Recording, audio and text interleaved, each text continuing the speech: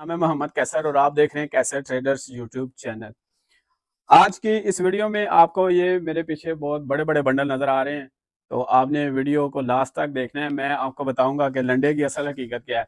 लंडे का जो बिज़नेस है आप ने बहुत सारी वीडियो देखी होंगी। आपको जो वैरायटी दिखाई जाती है, बच्चों की वैरायटी हो, लेडीज़ की वैरायटी हो या मर्दाना वैरायटी हो, जो भी है, चाहे पैजामा है, जैकेट है, फ्राक है तो ये लंडे में ये जो बड़े बड़े बंडल हैं, ये आप देखिएगा, जो बंडल आपको दिखाएँ।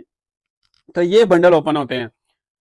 इन बंडल का जो वज़न है 300 किलो 400 किलो तक वज़न होता है और ये बड़े बड़े जो बंडल आते हैं, इनमें हज़ार किस्म की वैरायटी है। इसमें गर्मी वाला माल भी निकलता है, सर्दियों वाला माल भी निकलता है, इस तरह का माल भी निकलता है जो किलो के हिसाब से सेल होता है।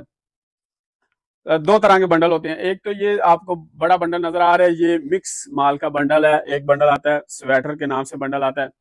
इसमें आप ये समझिए कि फिफ्टी पचास फ़ीसद माल जो है वो किलो के हिसाब से सेल हो जाता है और जो पचास फ़ीसद बचता है वो सर्दियों के लिए स्टोर किया जाता है।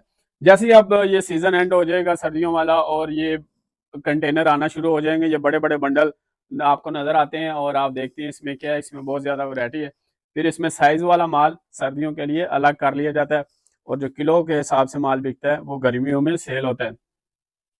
तो ये जो आपको मैं, ये बंडल दिखाने का मकसद ये है कि आप ये देख लें, ये बड़े बड़े जो बंडल हैं, इसमें ऐसा कोई सीन नहीं है कि इसमें सारा एक तरह का माल होता है, इसमें मिक्स माल होता है। बात यह है कि इसमें छांटी का फ़र्क होता है। जब इसको छांटी किया जाता है, जो कारीगर इसको अलहदा करते हैं तो उसमें जो एक कारीगर है, उसका शायद दो साल का तजर्बा है, किसी का दस साल का तजर्बा है, किसी का बीस साल का तजर्बा है तो फिर उस हिसाब से वो माल अलहदा करेगा। लेकिन जो गोदाम का मालिक होता है, उसकी तो कोशिश यही होती है कि ये सारे का सारा माल जो है, अच्छे रेट पे बिक जाए।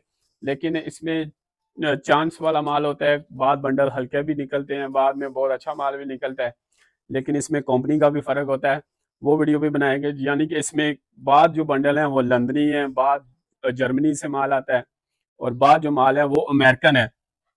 और बाद ऐसा माल है जो कराची जोन है। जोन से मतलब वो बंद किया जाता है। मतलब जोन एक ऐसी कंपनी है जहाँ पर कंटेनर आते हैं और कहा जाता है कि चार पाँच सौ लेबर है उसकी और वो रीपैकिंग करते हैं। तो ये जो आप माल देख रहे हैं तो ये जो माल है ये आप देख रहे हैं तो इसकी पहचान होती है। कैसे पता चलेगा ये इसमें टाइम गुजारना पड़ता है?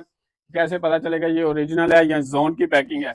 तो कराची जो सेठ बैठे हैं उधर बड़े बड़े वो बता देते हैं वैसे कि भाई ये जोन का माल है या ये डायरेक्ट है जर्मनी से इम्पोर्ट है या चाइना से क्या हिसाब है?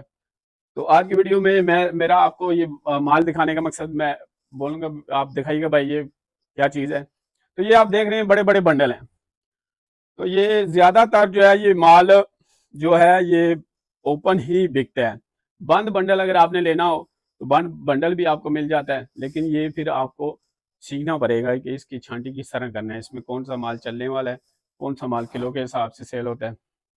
तो नए बंदे के लिए ये है कि वो खुला माल ले। तो ये जो बंद बंडल आप देखें बड़े बड़े ये नॉर्मली डायरेक्ट ही आते हैं। जो आपको माल पैंतालीस किलो, अस्सी किलो, सौ किलो में नज़र आता है, वो ज़्यादातर जो माल है, वो जोन का माल होता है। तो उसकी भी बात करें कि वीडियो बनाएँगे। आई होप कि ये वीडियो आपको पसंद आई होगी।